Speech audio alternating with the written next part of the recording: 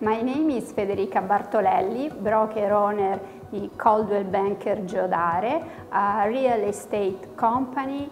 Um, our office is located um, in Piazza Capranica, a nice place very close to the Pantheon. Our um, company uh, was born last year during the pandemic uh, emergency and the very first thing we did was uh, finding a partner to play our part in uh, charity. We immediately thought uh, about the um, Bambino Gesù Foundation uh, because children are our future. In a developed society, we do believe that those uh, who are luckier has a, a duty to make the world a better place and give time and resources to those who need it most. Supporting the Bambino Gesù Foundation is so important for us because it uh, makes us so proud.